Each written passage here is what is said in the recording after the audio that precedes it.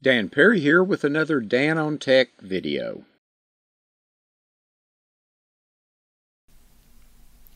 What is cloud computing? Well, we hear a lot of things about cloud computing. It's up in the cloud. Well, just what is it? Well, let's go backwards a little bit and talk about the old days of computers back in the 70s and 80s. And there we had these large computers called mainframes. And they could cost millions of dollars. And a lot of small companies could not afford to buy a mainframe computer. So what those companies would do is they would rent or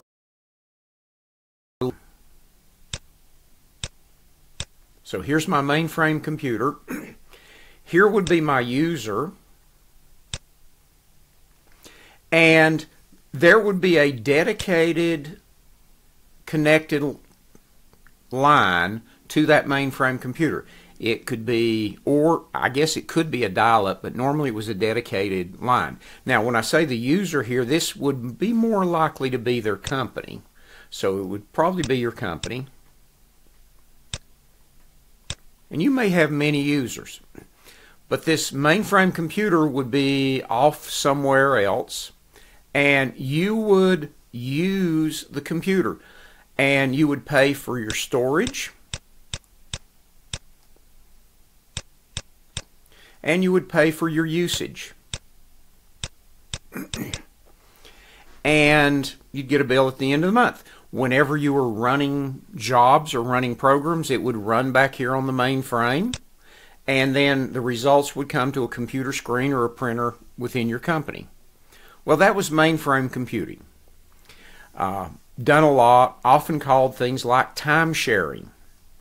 Well, today we hear about cloud computing. It's in the cloud. Well, what do we mean? Well, when we will see a picture, some you know that's supposed to represent a cloud, and we'll see a user's computer and an internet connection to the cloud. And somewhere up in the cloud, you're storing, storing files, or you're running or using a computer.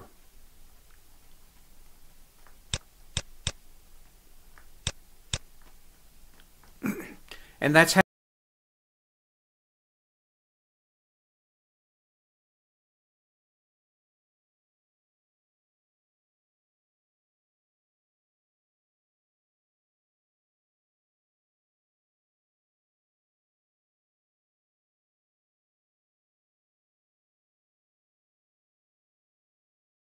that are not located at your company. Now, the big difference now is we're using the internet to access those systems. Instead of having to pay for an always on dedicated line to that computer, now we're paying for an internet connection and we're connecting to that facility through the internet. now, some of the things with storage, or rather with cloud computing, one is storage. We want to store files. And there are some storing companies that do that. Some are free, some are charged, and, and a lot of them they have a free tier where you can get a certain amount of storage for free, and then you pay beyond that. Excuse me. Companies like Dropbox.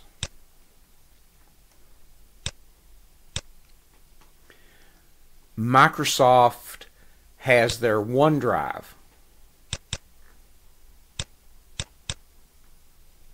Google has their Drive product, Google Drive. These are examples of some of this online storage. And depending, their different levels. I have 5 gigabytes of free storage in Dropbox. I have some OneDrive free storage.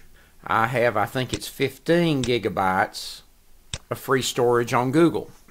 If I want more, I can pay for it. I also have storage from some other companies. For example, I have some storage from Amazon. And there's some free.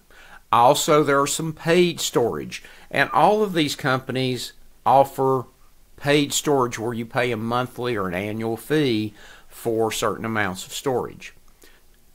What's happening now is that those files are stored up in this cloud instead of on your computer and that way you can access them from anywhere if as long as I've got an internet connection I can get to my Dropbox or OneDrive and it doesn't matter what computer I'm on so, or if I go over to a friend's house and need to access something I can do that through the storage the lesser talked about or lesser known features of cloud computing is remote or a computing platform.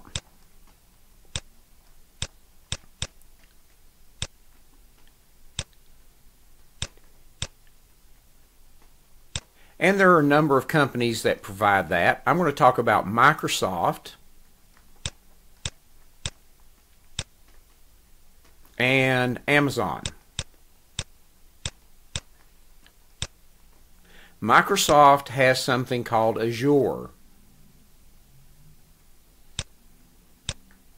I think I'm spelling that right, A-Z-U-R-E.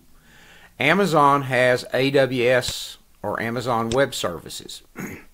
In both cases, I can use services. I can, with both of those, I can have virtual machines or remote machines that are installed. They're running when I have them turned on on their services. I can access them remotely. If I've got a web server or something like that running on them, other people can access them.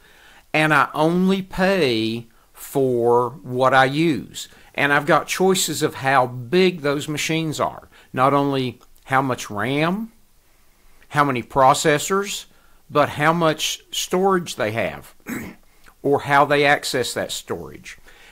Both again have a free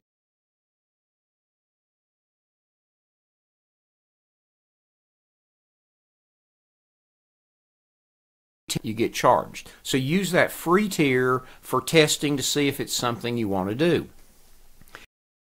That I could, for example, create an email server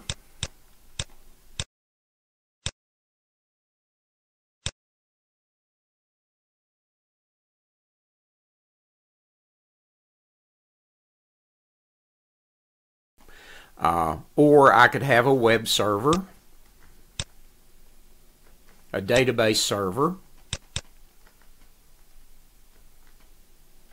In fact, one of the things some people will use these services for, they have the ability to really rapidly do processing of data in large databases if you need to do statistical work, statistical functions, do do analysis because they can throw actually hundreds of machines on the job.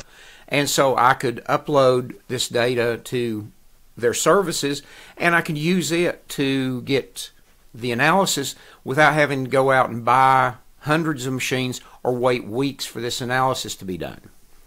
Uh, other services they actually have that are really separate from running your own computer or your own instance that's dedicated to you is some of them do provide email services. If you use Gmail with Google, that G Google Gmail service, they're providing an email service, and they offer that to businesses well as well as individuals. Microsoft does the same thing with Microsoft Exchange Server. So I don't want to have to go out buy all the hardware, pay for uh, licensing of Exchange Server, it so I can contract with Microsoft for my email services and they will run that for me and I don't have to dedicate staff. Again, that's a monthly fee, but that fee in general will be much less than hiring a staff person just to do that. Well, does that mean I should always move everything to the cloud? No. There's a number of things such as security that may affect whether you want to do that.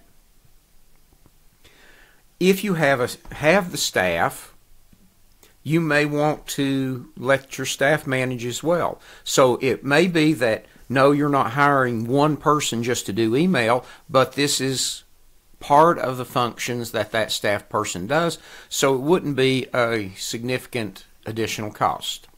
Well, that's a very quick, down and dirty overview of what cloud computing is. Thank you for watching this Dan on Tech video. Please subscribe to this playlist so you don't miss future videos.